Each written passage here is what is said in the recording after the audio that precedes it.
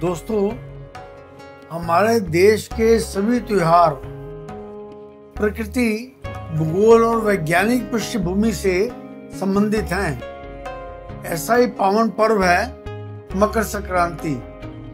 जनवरी के दूसरे सप्ताह की शुरुआत में सूर्य की प्राकृतिक स्थिति उत्तर दिशा की ओर अग्रसर होती है और पृथ्वी की भौगोलिक मकर रेखा पर किरणें पड़ती हैं। शास्त्रों के कथानुसार सूर्यदेव उत्तरायण की दिशा में जाकर मकर राशि में प्रवेश करते हैं।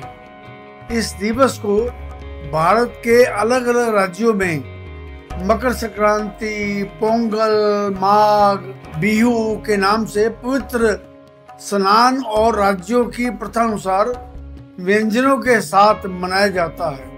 मकर संक्रांति से एक दिन पहले लोहड़ी का त्योहार मनाया जाता है। समृद्धि और खुशहाली के प्रतीक लोहड़ी के त्योहार की संध्या में अग्नि के समक्ष तिल, मूंगफली, रेवड़ी, गचक खाते हुए डोल बजाकर नाच गाने के साथ बड़ी धूमधाम से मनाया जाता है।